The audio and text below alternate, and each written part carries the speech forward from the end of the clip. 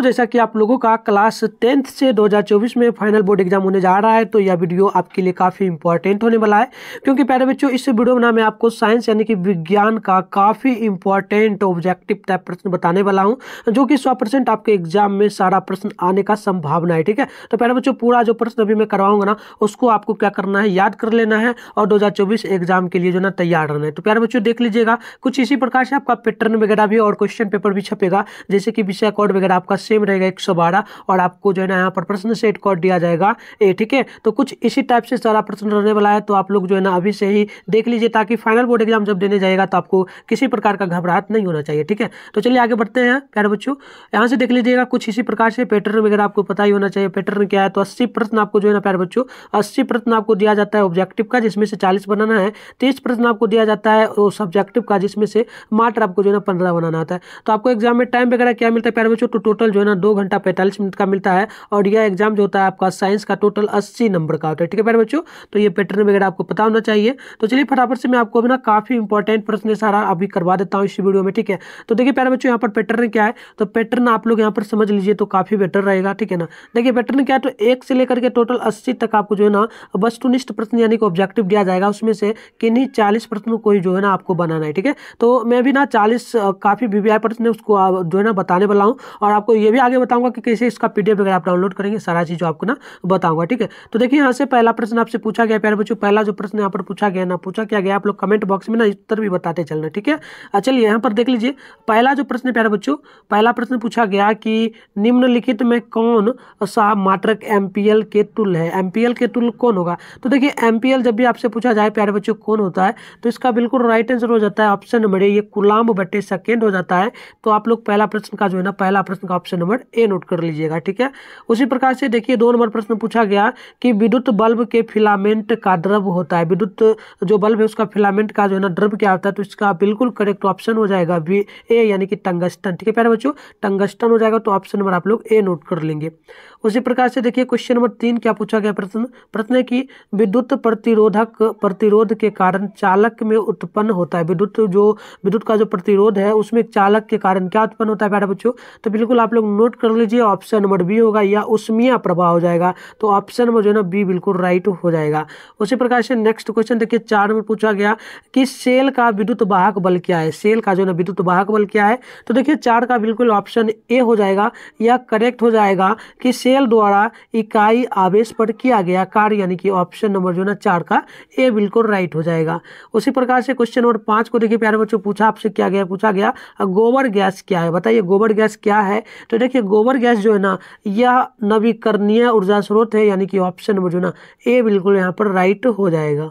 उसी प्रकार से देखिए प्यारे बच्चों क्वेश्चन में यहाँ पर छह पूछा गया, प्रकाश का जो है ना न्यूनतम तरंग ढेड़ क्या है? प्रकाश का न्यूनतम तरंग ढेड़ क्या है? तो आप लोग नोट कर लीजिए, ये होगा 380 नैनोमीटर, यानी कि ऑप्शन नंबर बी बिल्कुल राइट हो जाएगा।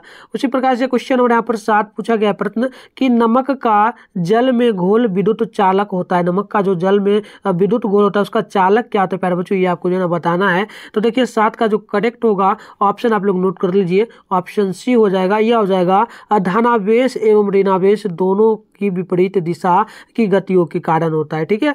चलिए क्वेश्चन नंबर यहाँ पर आठ देखिए, पूछा गया, प्रश्न क्या प्यारे बच्चों? पूछा गया कि अमीबा में पोषण की विधि क्या है? अमीबा में पोषण की विधि क्या है? तो बिल्कुल ऑप्शन ए हो जाएगा, यह हो जाएगा प्राणिसम प्राणिसम पोषम, यानी पोषण, यानी ऑप्शन नंबर जो ना ए बिल्कुल राइट होगा।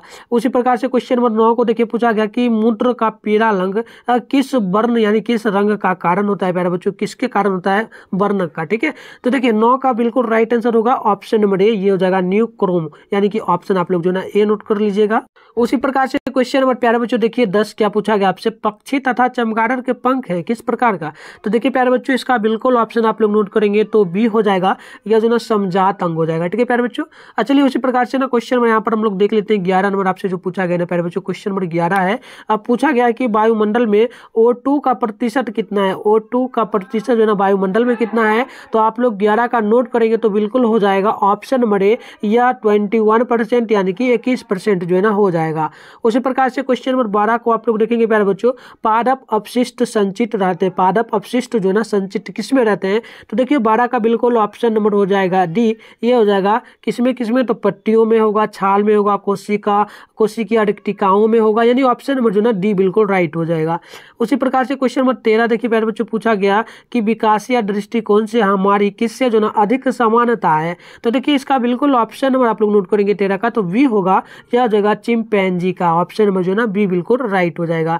उसी प्रकार से क्वेश्चन नंबर चौदह को देखिए, प्यारे बच्चों, पूछा गया कि मनुष्य में नसिका, छिद्र लेलिक्स, ट्रेकिया और तथा फेफड़ा मिलकर क्या बनाते हैं? तो देखिए, चौदह का बिल्कुल ऑप्शन नंबर सी हो जाएगा या श्वासन तंत्र हो जाएगा। ठीक है, प्यारे बच्चों? उसी प्रकार से क्वेश्चन नंबर यहाँ पर देखिए, पूछा गया है पंद्रह नंबर पूछा गया कि two Z N plus O two चूँकि इसका जब रिएक्शन हुआ तो ये बना टू जेड एन ओ तो बताइए, यह किस प्रकार का विक्रिया है? तो देखिए, प्यारे बच्चों, एक चीज़ यहाँ पर आप लोग चेक करना, पंद्रह नंबर है ना? तो देखो, इसका ऑप्शन पहले होगा, उपचयन। उपचयन क्रिया किस प्रकार का होता है? उपचयन होता है कि दो अंक कह सकते हो, ठीक है, दो अल्फ़ाबेट को मिला करके एक जगह लिख दिया जाए तो सब लोग कहते हैं, उपचयन तो ये आप लोग ध्यान रखना प्यारे बच्चों, ठीक है? चलिए आगे बढ़ते हैं। क्वेश्चन नंबर यहाँ पर देखेंगे प्यारे बच्चों, सोलह नंबर है। निम्नांकित में कौन सा समीकरण संतुलित नहीं है? बताइए, इनमें से कौन सा समीकरण है जो कि संतुलित नहीं होगा? ठीक है? तो देखिए, यहाँ पर बिल्कुल सोलह का राइट हो जाएगा ऑप्शन नंबर बी ठीक है बच्चों ऑप्शन नंबर बी होगा। ये संतुलित नहीं है क्योंकि H two H two O two था। तो इसका मतलब क्या होना चाहिए था? इस प्रकार से बनना चाहिए था। टू एच ओ यानी कि दोनों में एच में भी दो होना चाहिए था ओ में भी। लेकिन यहाँ पर ओ एक है सिंगल इसलिए या नहीं है तो ऑप्शन नंबर बी बिल्कुल राइट होगा। देखिए क्वेश्चन नंबर सत्रह आपसे पूछा गया है कि छाड़ अमोनिया ऑक्साइड के विलियन का पीएच मान क्या होगा? तो देखिए, सत्रह का जो राइट होगा ना ऑप्शन नंबर ए हो जाएगा, या नौ होता है। ठीक है, प्यारे बच्चों, आपको याद रखना है।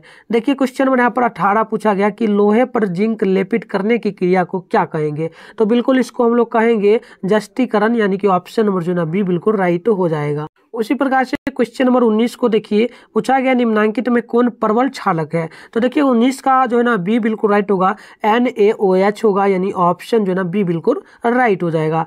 उसी प्रकार से क्वेश्चन नंबर यहाँ पर देखिए, बीस नंबर पूछा, संगम रमन का रासायनिक सूत्र क्या है? तो देखिए, प्यारे बच्चों, बीस का बिल्कुल होगा option number A C A C O three ठीक है? चलिए, उसी प्रकार से क्वेश्चन नंबर इक्कीस को देख लेते हैं। ये आपसे पूछा गया कि मैग्नीशियम की परमाणु संख्या बारह किसकी संयोजकता है? बताइए, मैग्नीशियम की परमाणु संख्या जो बारह है वह किसकी संयोजकता होगी तो देखिए, यह बिल्कुल करेक्ट ऑप्शन होगा ए यानी कि दो का, ठीक है? चलिए, अगली क्वेश्चन यहाँ पर पूछा गया बच्चों, बाईस नंबर प्रश्न है कि एक चालक के ओर दस विभांतर दस तथा धारा टू ए है तो प्रतिरोध क्या होगा? तो देखिए, प्यारे बच्चों, प्रतिरोध निकालने के लिए हम लोग क्या करते हैं? तो बिल्कुल यहाँ पर आप लोग एक चीज़ करना, क्या करेंगे तो दस जो है ना, दस बटे इस प्रकार से होता है प्रतिरोध बराबर आर बराबर क्या होता है? तो प्रतिरोध बराबर फॉर्मूला होता है वी बटे में हो जाता है, प्यारे बच्चों ए यानी कि क्या होता है, धारा। अब देखो वी का जो वैल्यू है, आप लोग दस दोगे और धारा का वैल्यू टू है तो टू काटोगे तो यह पाँच बार में कटेगा, यानी कि पाँच ओम हो जाएगा, बिल्कुल राइट आंसर तो प्यारे बच्चों, इस टाइप से प्रश्न पूछे तो आप लोग ज़रूर बना लिया करना, ठीक है? ये इस टाइप का प्रश्न बहुत सारा आता है एग्ज़ाम में। चलिए क्वेश्चन नंबर तेईस देखिए, क्या पूछा गया? नेटरल लेंस की अधिकतम फोकस दूरी लगभग क्या, कितना होता है? तो अधिकतम फोकस दूरी ज़्यादा से ज़्यादा यह जो होगा सी होगा, यानी टू पॉइंट फाइव सेंटीमीटर तक की या होगा, ठीक है? और एक स्वस्थ मनुष्य के लिए होगा पच्चीस सेंटीमीटर, ये भी आप लोगों को याद रखना है, ठीक है? चलिए क्वेश्चन नंबर चौबीस पूछा गया कि विभवान्तर मापने में प्रयुक्त यंत्र ए एवं इसका संयोजन बी क्या होता है? तो ए आपका क्या है प्यारे बच्चों? ए जो है ना ए मीटर होता है, ठीक है? और बी आपका श्रेणी क्रम होता है। तो बिल्कुल यहाँ पर राइट होगा चौबीस का, क्या कमेंट करिए? तो देखिए, बिल्कुल होगा ए होगा वोल्ट मीटर और बी होगा समांतर क्रम तो ऑप्शन सी बिल्कुल जो है ना राइट हो जाएगा। चलिए क्वेश्चन नंबर यहाँ पर ना चौबीस पच्चीस को देख लेते हैं पूछा गया। निम्न में से कौन सा सूत्र चालक में उत्पन्न उष्मा को निरूपित करता है? तो देखिए, पच्चीस का ना, अब बिल्कुल राइट आंसर ऑप्शन सी हो जाएगा। या भी स्क्वायर्ड बटे टी इंटू जो है ना बटे आर इंटू टी होता है, ठीक है? चलिए नेक्स्ट क्वेश्चन यहाँ पर जो पूछा गया छब्बीस नंबर है, कि निम्न में से कौन वस्तु का केवल काल्पनिक प्रतिबिंब बनाता है? तो देखिए, छब्बीस का जो है ना, बिल्कुल ऑप्शन हो जाएगा ए या अवतल दर्पण होगा। क्या होगा? अवतर लेंस होगा। प्यारे बच्चों, आपको जो है ना अवतर लेंस याद रखना है। सत्ताईस नंबर देखिए प्यारे बच्चों पूछा गया कि निम्न आरेख में जो ना प्रतिबिंब है निम्न आरेख में प्रतिबिंब जो है ना क्या है? प्रतिबिंब आप लोग देख लीजिए और यह प्रतिबिंब किस प्रकार का है ठीक है? तो देखो प्रतिबिंब जो बनाया ना या तो आप लोग देख सकते हो या, किस प्रकार का प्रतिबिंब है प्यारे बच्चों? तो यह जो है ना अवतल दर्पण है ठीक है? ठीक है अवतल दर्पण है अवतल नहीं उत्तर है ठीक है? उत्तर दर्पण है तो उत्तर दर्पण में किस प्रकार का प्रतिबिंब बनता है? तो आपको पता है ना वास्तविक तो बनता ही है लेकिन काल्पनिक भी होता है ना क्या होता है बताइए तो? सत्ताईस का बिल्कुल ऑप्शन भी होगा वास्तविक होगा और वस्तु से छोटी होगी, ठीक है? चलिए, आगे देख लीजिए क्वेश्चन नंबर अट्ठाईस पूछा गया कि फोटोग्राफी कैमरे में के उत्तर लेंस द्वारा बना प्रतिबिंब क्या होता है? तो बिल्कुल अट्ठाईस का हो जाएगा ऑप्शन नंबर बी हो जाएगा, यह हो जाएगा वास्तविक और वस्तु से छोटी हो जाएगी। चलिए, आगे देखते हैं। क्वेश्चन नंबर उनतीस आपसे पूछा गया कि वैशाख पोषण जिसमें जंतु अपना भोजन ठोस या तरल के रूप में लेता है, वह क्या कहलाएगा? तो बिल्कुल यह जो कहलाएगा ना, प्यारे बच्चों, आप लोग नोट कर लेना, यह कहलाएगा प्राणीसम पोषण ऑप्शन ए बिल्कुल जो राइट होगा। देखिए क्वेश्चन नंबर यहाँ पर तीस पूछा कि कर्मा कर्मा कुचन ठीक है ना? कर्मा कुच कुंचन कटी गति पाई जाती है। किसमें पाई जाती है? तो देखिए तीस का बिल्कुल ऑप्शन ए हो जाएगा, यह होगा ग्रास नली में, ठीक है प्यारे बच्चों?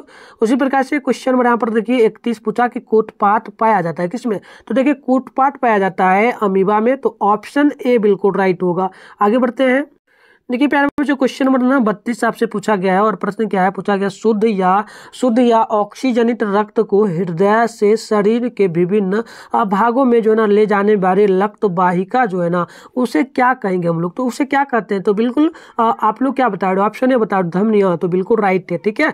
चलिए, उसी प्रकार से आप लोग जल्दी से तैतीस का बताइए। पिट्ट रस का श्राव क्या है प्यारे बच्चों, ठीक है? तो पिट्ट रस का श्राव जो होगा, आप लोग नोट कर लेंगे, या जो है ना डी होगा, या क्रीट में हो जाएगा। क्या हो जाएगा?